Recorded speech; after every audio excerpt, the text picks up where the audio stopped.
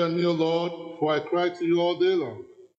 O Lord, you are good and forgiven, full of mercy to all who call to you. In the name of the Father, and of the Son, and of the Holy Spirit.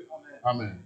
The grace and peace of our Lord Jesus Christ, the love of God, and the fellowship of the Holy Spirit be with you all. And with your spirit. It's so good to see you on this Sunday morning. Thank you for coming to church on this second, 22nd Sunday of ordinary time.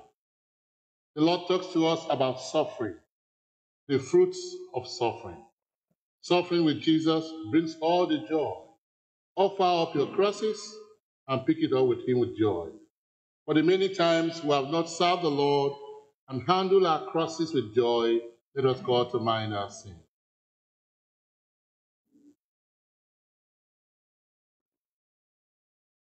I confess, Almighty God, unto you, my brothers and sisters, that I sinned in my thoughts and in my words, in what I've done and what I've broken. My fault. And my most grievous fault. Therefore I ask you, Blessed Mary, all the angels and saints, you my brothers and sisters, pray for me to the Lord our God. The Almighty God of mercy on us, may forgive us our sins and bring us to life everlasting. Amen. Lord, have mercy. Christ, have mercy. Lord have mercy.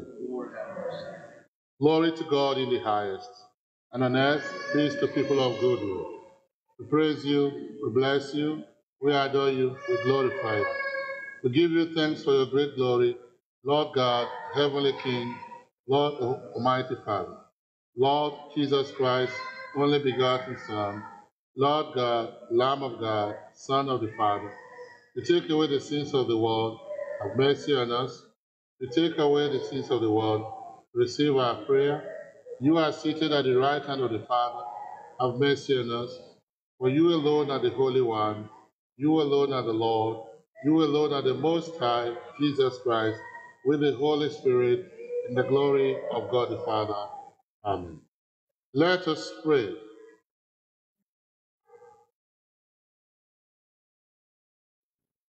God of might, giver of every good gift, put into our hearts the love of your name, so that by deepening our sense of reverence, you may nurture in us what is good, and by your watchful care, keep safe what you have nurtured.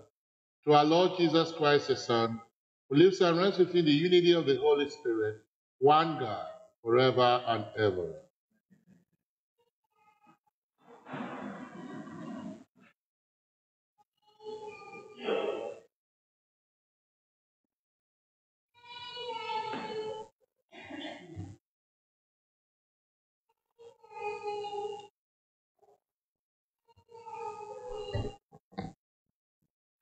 A reading from the book of the prophet Jeremiah. You duped me, O Lord, and I let myself be duped. You were too strong for me, and you triumphed. All the day I am an object of laughter. Everyone mocks me. Whenever I speak, I must cry out. Violence and outrage is my message. The word of the Lord has brought me derision and reproach all the day. I say to myself, I will not mention him. I will speak in his name no more. But then it becomes like fire burning in my heart, imprisoned in my bones. I grow weary holding it in. I cannot endure it. The word of the Lord. Thanks be to God. The responsorial psalm. My soul is thirsting for you, O Lord my God. My soul is thirsty for you. O God, you are my God whom I seek. For you my flesh pines and my soul thirsts like the earth, parched, lifeless, and without water. My soul is thirsting for you, O Lord my God. Thus have I gazed toward you in the sanctuary to see your power and your glory. For your kindness is a greater good than life. My lips shall glorify you. My soul is thirsting for you, O Lord, my God. Thus will I bless you while I live. Lifting up my hands, I will call upon your name. As with the riches of a banquet shall my soul be satisfied, and with exultant lips my mouth shall praise you. My soul is thirsting for you, O Lord my God. You are my help, and in the shadow of your wings I, will, I shout for joy. My soul clings fast to you. Your right hand upholds me. My soul is thirsting for you, O Lord my God. The second reading, a reading from the letter of St. Paul to the Romans. I urge you, brothers and sisters, by the mercies of God, to offer your bodies as a living sacrifice, holy and pleasing to God, your spiritual worship. Do not conform yourself to this age, but be transformed by the renewal of your mind, that you may discern what is the will of God, what is good and pleasing and perfect. The word of the Lord.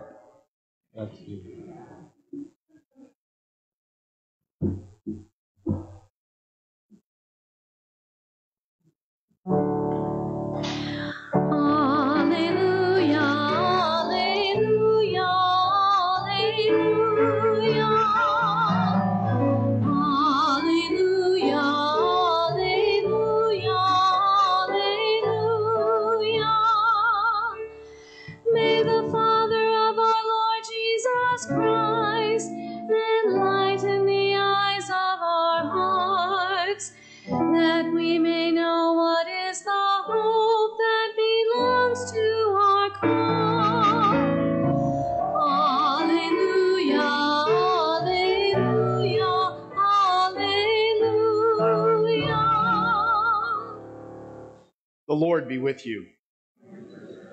A reading from the Holy Gospel according to Matthew.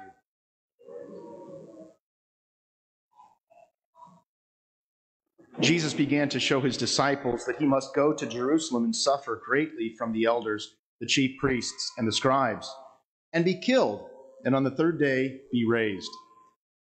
Then Peter took Jesus aside and began to rebuke him. God forbid, Lord, no such thing shall ever happen to you.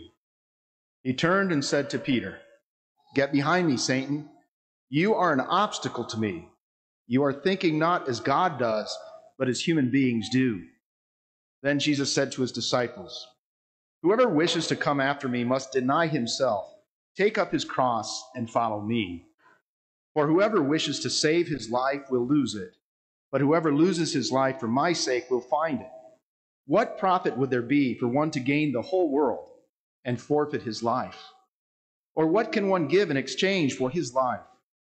For the Son of Man will come with his angels in his Father's glory, and then he will repay all according to his conduct. The Gospel of the Lord.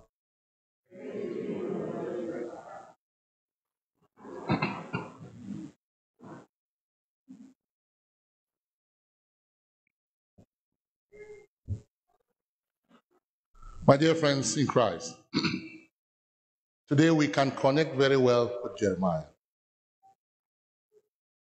Today, Jeremiah is complaining.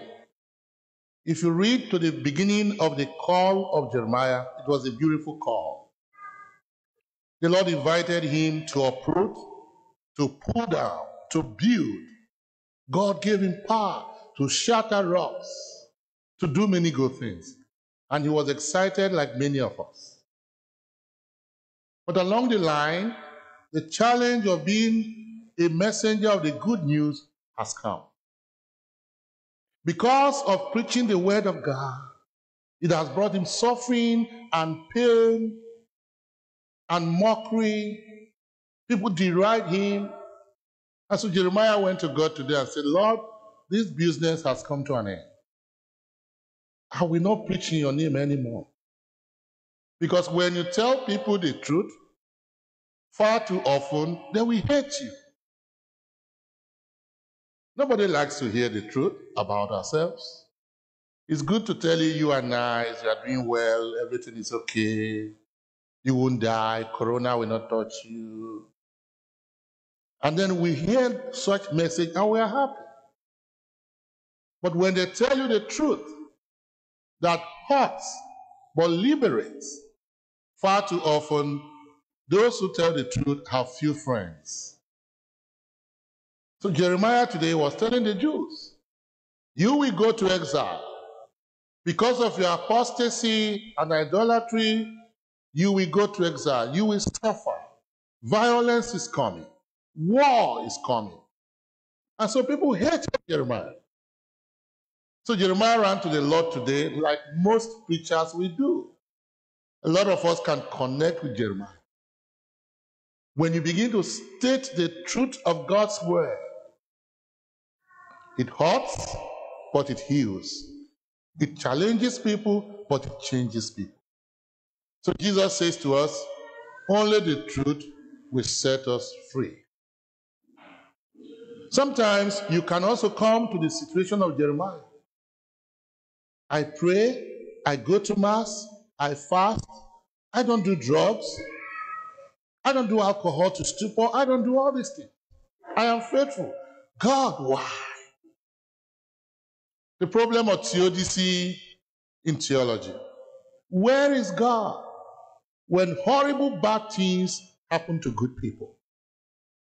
Sometimes you ask yourself this question, but I don't do any bad thing. I am a good man. I go to confession, I pay my offerings, I do the hope and healing, I give collections, I even fast. But God, why? Why cancer? Why?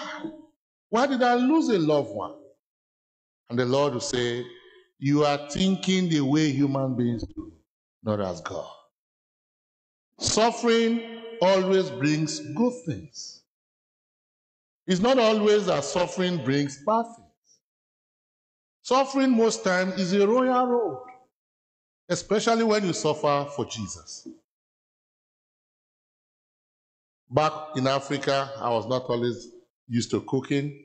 You have all kinds of people serving you. But here in America, you've got to fix your meal. So sometimes when I'm shredding the onions, I'm crying. I said, why is the onions beating me and spanking me, the spices?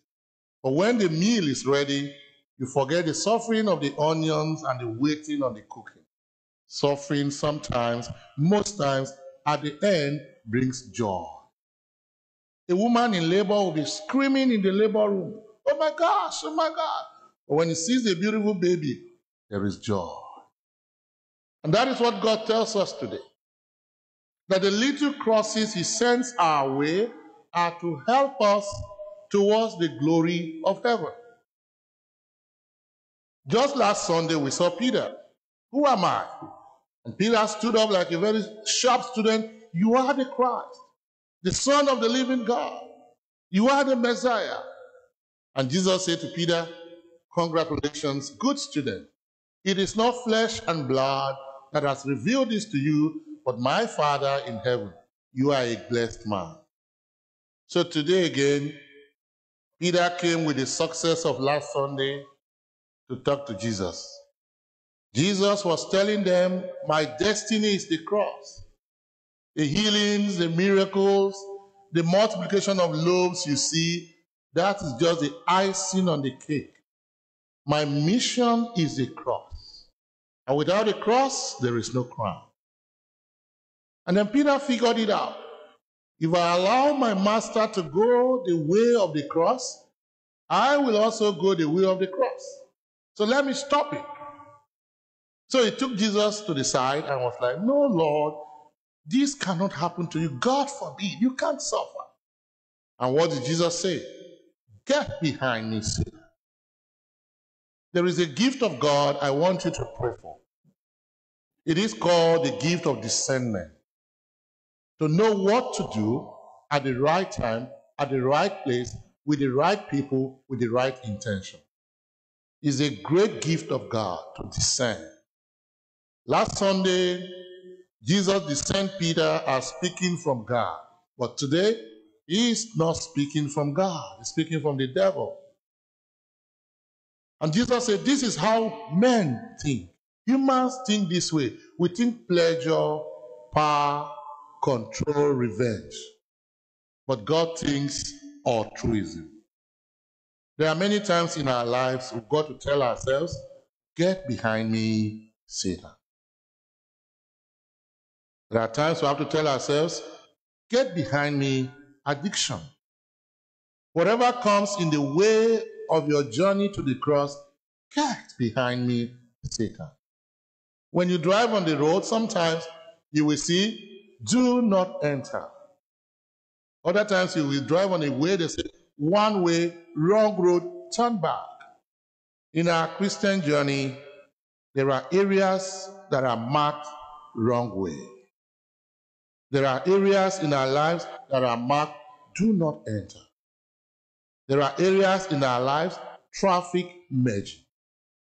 There are areas in our life, stop. And like the laws of driving in America says, stop means stop. Not a rolling stop, but a complete stop. So, my dear friends, what is it in your life that you need to say, stop and get behind me, Satan?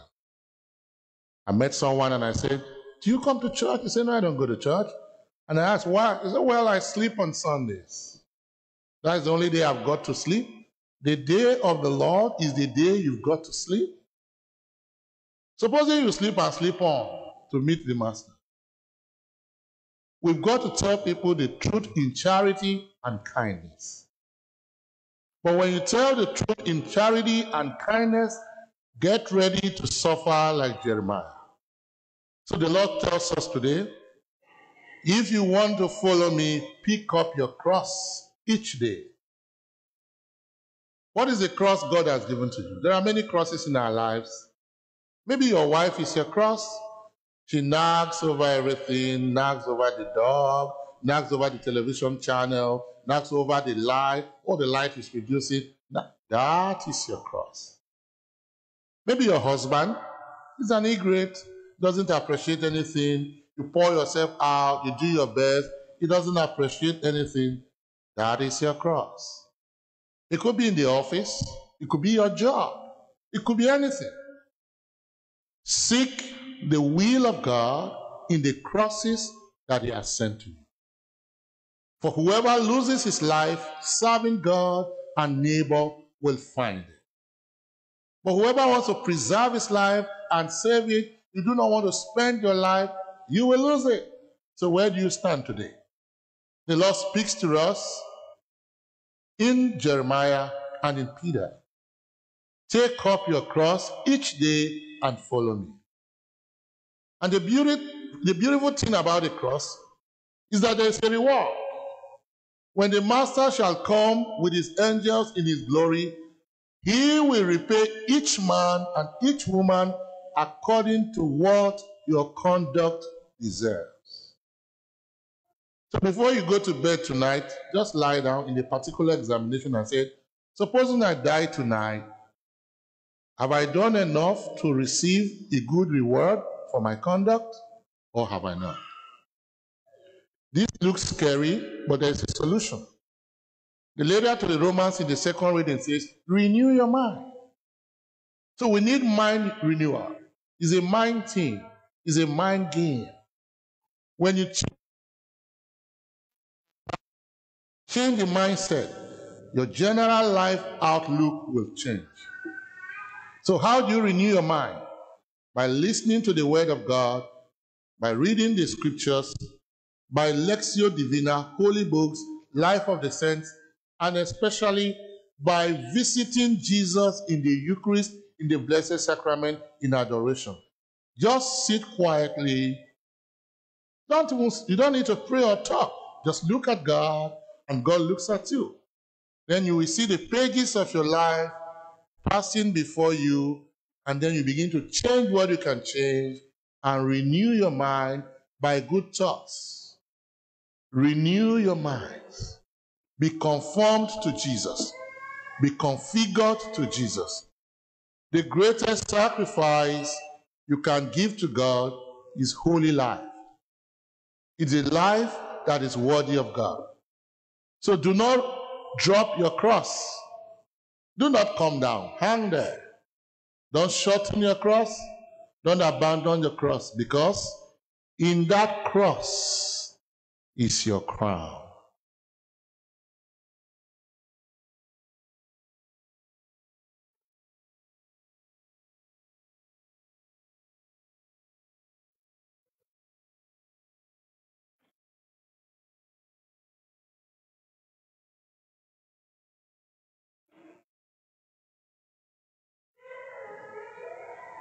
Let us rise and profess our faith. I believe in God, the Father, the Almighty, maker of heaven and earth, of all things visible and invisible.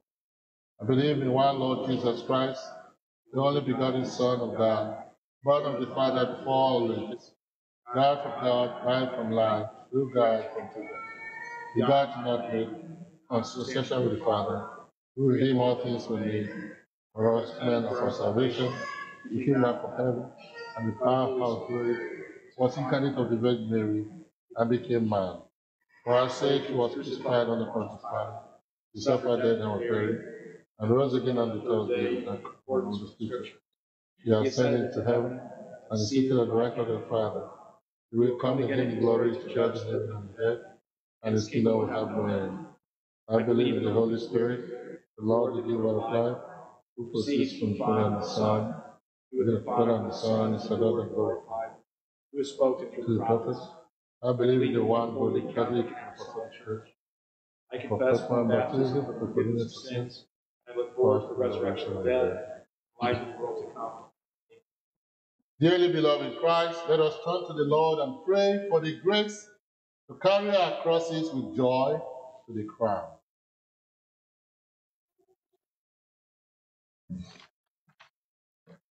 For the church, that she may, she may be a light to all nations and boldly proclaim the joy that is the result of following Christ.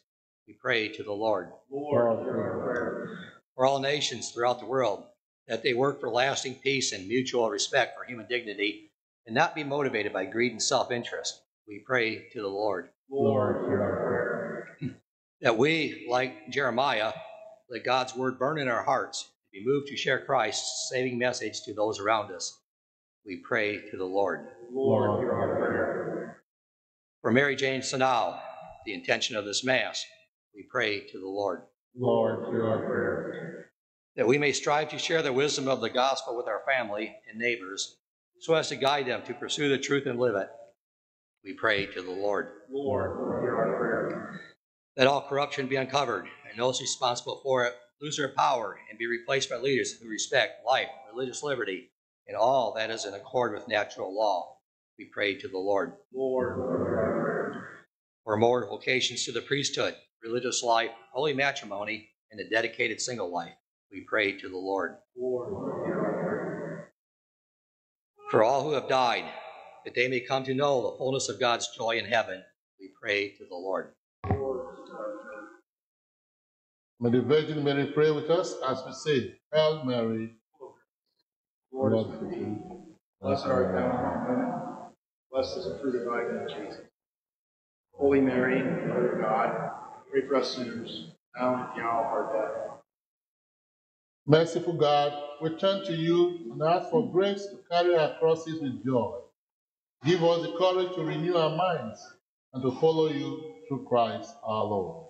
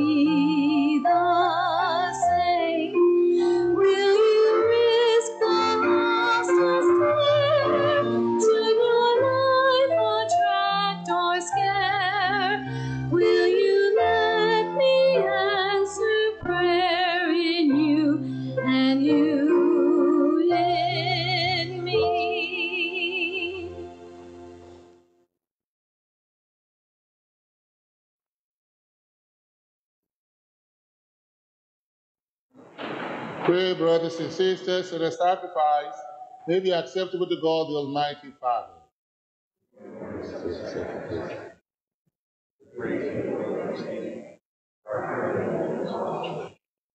May the sacrifice, the sacred offering, O Lord, confer on us always the blessing of salvation, that what it celebrates in mystery, it may accomplish in power, through Christ our Lord. Amen. The Lord be with you. And with your spirit. Lift up your hearts. Lift up the Lord. Let us give thanks to the Lord our God. It is right and just. It is truly right and just, our duty, our salvation, always and everywhere to give you thanks, Lord, Holy Father, Almighty, eternal God, through Christ our Lord. For through his paschal mystery, he accomplished the marvelous deed by which he has freed us from the yoke of sin and death, summoning us to the glory of being now called a chosen race, a royal priesthood, a holy nation, a people for your own possession, to proclaim everywhere your mighty works, for you have called us out of darkness into your wonderful light. And so with the angels and archangels, with thrones and dominions, and with the host of powers of heaven, we sing the hymn of your glory, as without end we acclaim.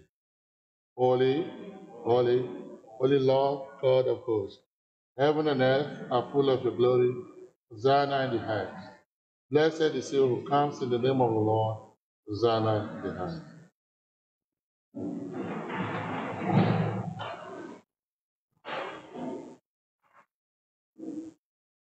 You are indeed holy, O Lord, and all you have created rightly gives you praise. For through your Son, our Lord Jesus Christ, by the power and the working of the Holy Spirit, you give life to all things, you make them holy, you never cease to gather our people to yourself, so that from the rising of the sun to its setting, up to sacrifice will be offered to your name. Therefore, Lord, we humbly implore you, by the same Spirit, graciously make holy these gifts we have brought to you for consecration, that they may become the body and blood of your Son, our Lord Jesus Christ, at whose command to celebrate this mystery. For on the night he was betrayed, he himself took bread and giving you thanks, he said a blessing, broke the bread, and gave it to the disciples, saying, Take this, all of you, and eat of it, for this is my body, which will be given up for you.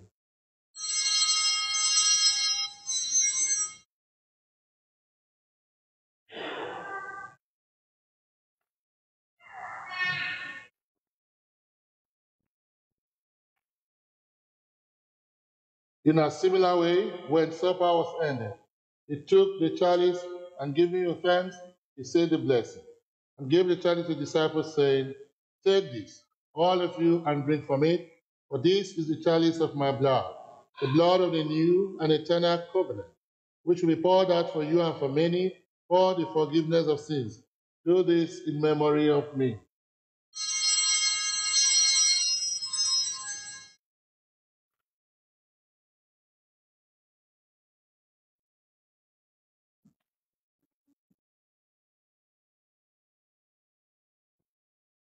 The mystery of faith. Save us, Savior of the world. For by your cross and resurrection, you have set us free. Therefore, Lord, as we celebrate the memorial of the saving passion of your Son, his wondrous resurrection and ascension into heaven, and as we look forward to his second coming, we offer in thanksgiving this holy and living sacrifice. Look, we pray, upon the oblation of your church, and recognizing the sacrificial victim by whose death you will to reconcile us to yourself. Grant that we, who are nourished by the body and blood of your Son, and filled with his Holy Spirit, may become one body, one spirit in Christ.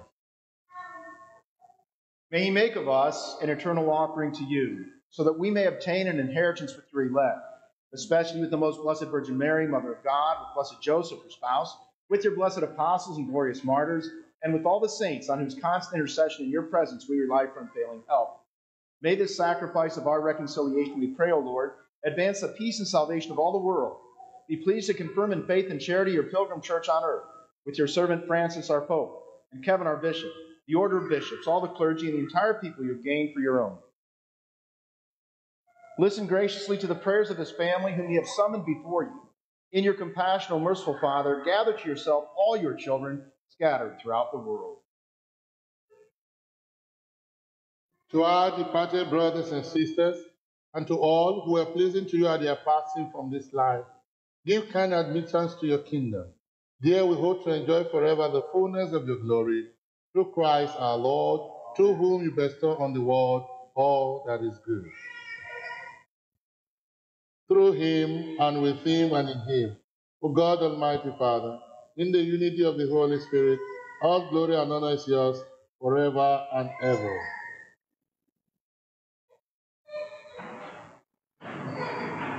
At the Savior's command and formed by divine teaching, we dare to say, Our Father, hallowed be thy name. Thy kingdom come, thy will be done On earth as it is in heaven. Give us this day our daily bread. Forgive us our trespasses, as we forgive those who trespass against us. And lead us not into temptation, but deliver us. Deliver us, Lord, we pray, from every evil. Graciously grant peace in our days, by the help of your mercy, we may always be free from sin and safe from all distress, as we await the blessed hope and the coming of our Savior Jesus Christ. Lord Jesus Christ, you say to your apostles, Peace I leave you, my peace I give you. Look not on our sins, but on the faith of your church, and graciously grant her peace and unity in accordance with your will, who live and reign forever and ever. The peace of the Lord be with you all. Let us wave one another the peace of Christ.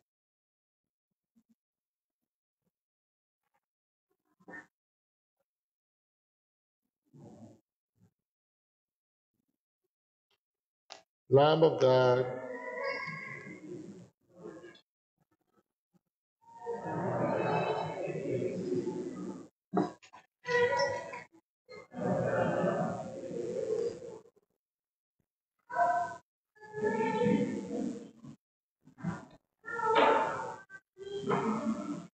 behold the Lamb of God. Behold him, Jesus, who takes away the sins of the world. Happy are we who are coming to the supper of the Lamb. Lord, I'm not worthy. The word.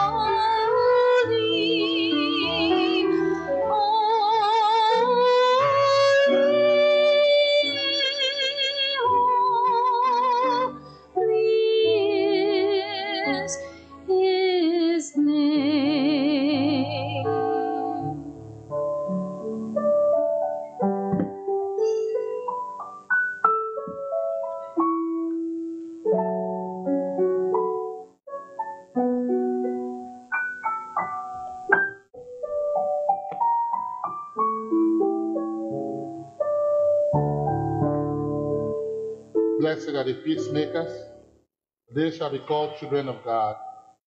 Blessed are they who are persecuted for the sake of righteousness, theirs is the kingdom of heaven.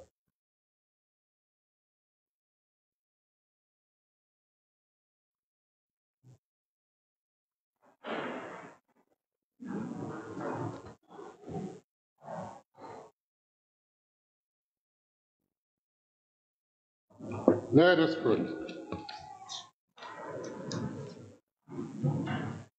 Renewed by this bread from the heavenly table, we beseech you, Lord, that being the food of charity, it may confirm our hearts and stir us to serve you in our neighbor, through Christ our Lord. You are invited to the return of the weekly Bible study called Who Am I to Judge? The study comes from the Catholic website, formed.org, website that helps parishes, families, and individuals explore their Catholic faith.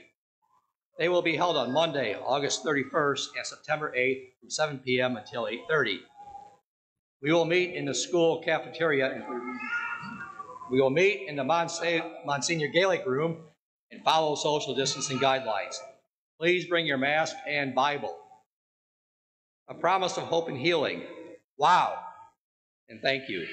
Your generosity is at work assisting our parish in a truly amazing way. We have already had 65 families respond and have a total of $25,899 pledged. This might sound like a huge number, and in many ways it is, but it's been through the generosity of many. We're getting close to the end of the program, but we need everyone's help. Your response and participation is very important. You can make payments using your credit card or an ACH automatic withdrawal through our online giving program as well. Please see our website for more details. And I just want to really thank you from the depths of my heart for your great outpouring and generosity. You know, the, the average gift has been like $364. And if everybody in the parish made that gift, we'd raise like four, $350,000. It's just amazing what we can do with the generosity of you. And, and you know, I know that uh, we help Father Joe, Uganda. I know Father Sunday also has some projects, little tiny ones actually, wants to put kind of put a roof on a church in, in Nigeria for about $25,000 your generosity may make us make that possible to help us do and, and further these great missions that are way outside our parish boundaries. I just deeply appreciate your generosity.